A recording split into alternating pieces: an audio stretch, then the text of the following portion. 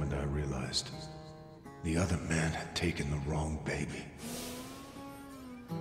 Then, you're Masumi Arakawa's son.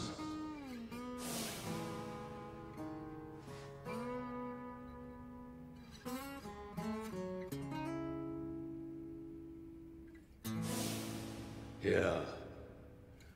I dreamed that it's 40 years ago. On that cold New Year's Eve night.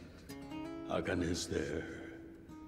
And she's about to give birth to her baby. She gives birth in Shangri-La.